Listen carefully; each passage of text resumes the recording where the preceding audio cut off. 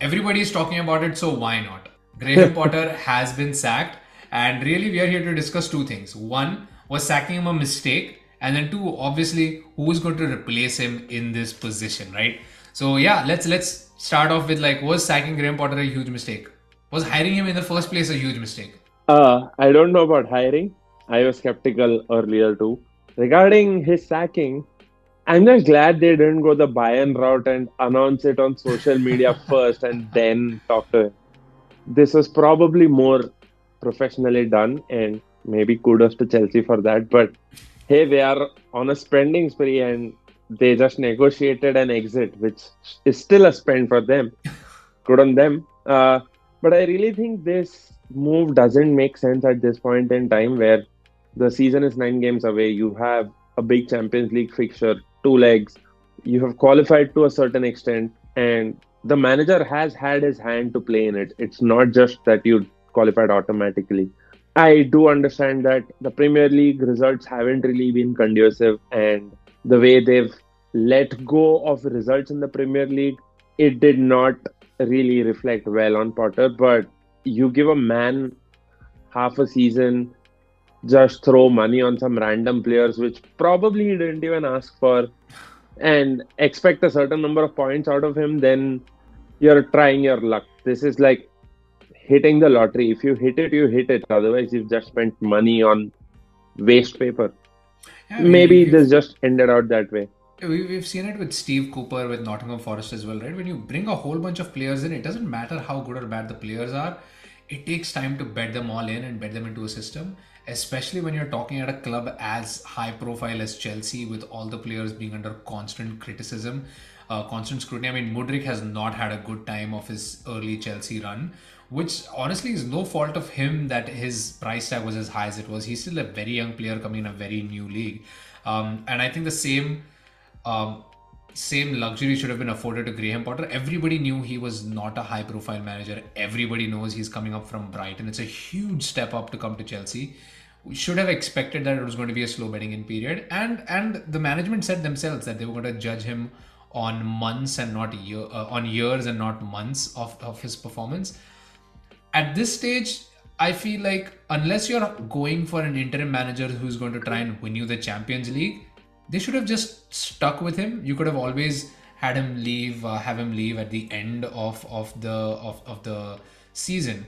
Because uh, the biggest manager linked Nagelsmann has already said that he's not going to come or start a new job till the end of the season. He's not going to pick up a team in the middle of the season.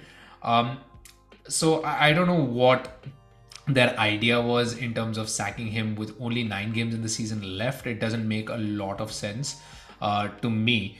Um, I don't know if that makes sense to you either. Uh, but let's talk about potential replacements, right? Because a lot of names have been thrown around. Of course, like we discussed, the biggest name being Nagelsmann. Do you, do you think he is the answer for this Chelsea uh, project? I certainly am skipping a beat here because I can't figure out whether he's a good option. Uh, secondly, he's just getting off of Bundesliga need some time. He, as he has said that he's going to take some time off, not really jump into another contract in between the season. Chelsea are negotiating with him. That's what the rumor mill says. Probably he could be someone who walks in through the door come June. But for these nine games, I think the best option from my perspective, I really feel is continuing with their interim manager while looking at options like a Pochettino even Conte, but I'm not sure if Conte is another long-term project. Uh, clearly, Todd Boehly and clearly the consortium don't really believe in long-term because if their long-term is like eight months, Antonio Conte is your man, and he has delivered results with Chelsea in the past. If we don't forget, so that could be one other name. There are I, other I, names like Zidane, Ancelotti, who may be out of contract at the end of the season. Roberto De Zerbi, again a Brighton coach, could happen. Uh, the slightly disgraced Brendan Rodgers, who actually left Leicester amicably. Who else can I think of? Uh, sporting manager, Amorim. Maybe him. I mean, I personally, I personally like the idea of Conte coming in for just these few games. Uh, it's it's it's it's a perfect situation for him, right? It's a short-term contract. Uh, it's right. a three-man at the back system. He's probably got two of the best wing backs in the world right now. Uh, the only thing he's probably lacking because he's got a workman, workman like midfield as well. Kante is back fit. Kovacic is in there. Enzo Fernandez is in there. Um, and the only thing that's probably missing is an out and out number nine. Uh, but he still got ridiculous quality in that attack. You know, players like Sterling, Havertz, Mount, uh, Ziyech, even.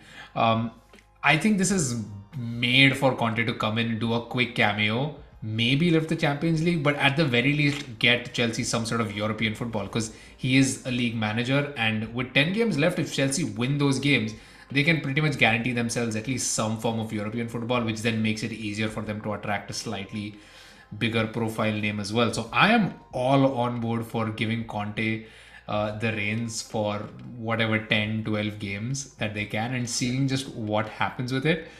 Definitely not a long term option. Uh, for me, I'm, I'm more on board with you in terms of getting Pochettino in over Nagelsmann.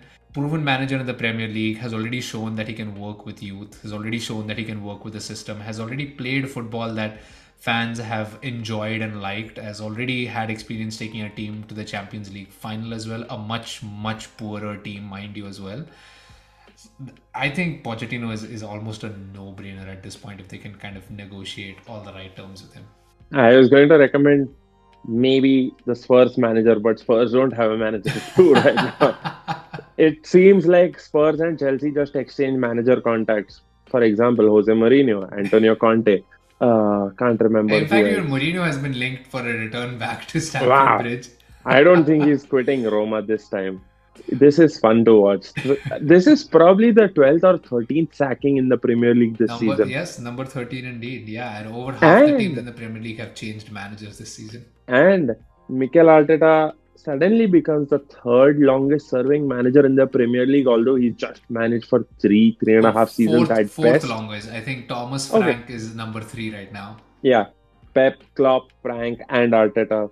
uh, I would assume Arteta, uh, not I would not take Frank in or out because hey, they were in the championship. So technically, Fair. we can talk about technicalities whenever. But okay, I'll take the fourth spot. But Arsenal are not taking the fourth spot this season, just so you know. uh, but yeah, let us know what you guys think. Did this sacking make sense? Uh, should Chelsea have waited a little bit longer? And if they were right, then who should they hire now? Uh, let us know down in the comments below. As always, please like, share, subscribe means a whole lot to us. And we will see you guys next time.